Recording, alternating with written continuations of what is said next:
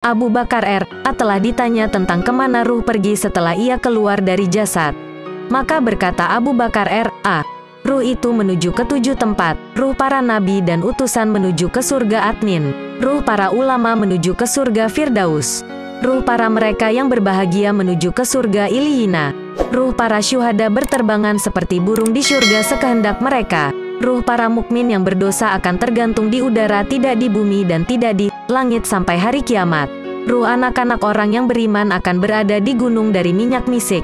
Ruh orang-orang kafir akan berada dalam neraka sijin. Mereka disiksa beserta jasadnya sampai hari kiamat. Telah bersabda Rasulullah SAW bahwa tiga kelompok manusia yang akan berjabat tangannya oleh para malaikat pada hari mereka. Keluar dari kuburnya ialah orang-orang yang mati syahid, orang-orang yang mengerjakan sholat malam dalam bulan Ramadan, orang yang puasa hari Arafah,